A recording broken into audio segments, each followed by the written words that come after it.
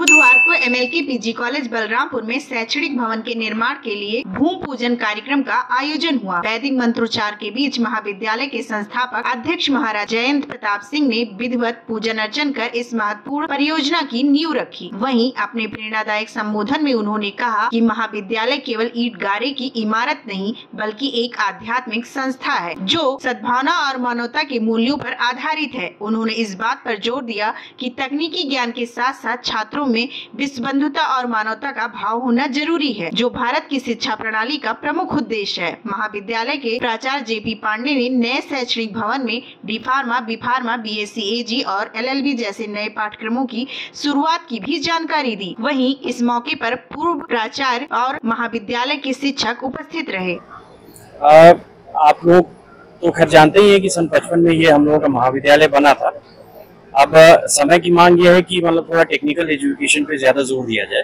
तो उसी हिसाब से ये जो छोटा परेड ग्राउंड हम लोगों का है, उसमें एक टेक्निकल ब्लॉक बनने जा रहा है, जिसमें ये नक्शा लगा हुआ है। आप अगर कैमरे को थोड़ा सा इधर घुमा दें तो वो उसमें आएगा कि जितने भी जैसे टेक्निकल एजुकेशन है, जैसे एग्रीकल्चर हो गया डी फार्मा हो गया लॉ हो गया, ये सब इस जगह पे प्रपोज है हम लोगों का।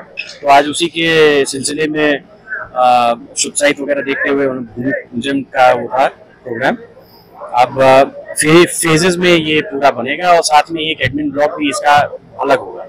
और टेक्निकल इंस्टीट्यूट हम लोगों का बिल्कुल अलग रहेगा। मेन महाविद्यालय में उसका कोई डिस्टर्बेंस नहीं रहेगा।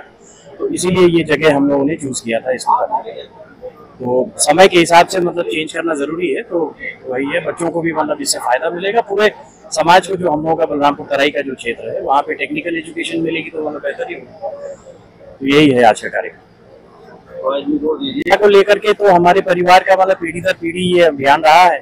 और इस पर अभी मतलब भारत सरकार भी मतलब काफ़ी ज़ोर जो है उसको दे रही है। तो उसी में हम लोग भी आप इसको मान सकते हैं कि ये शायद बलरामपुर के लिए एक मील का पत्थर होगा धन्यवाद।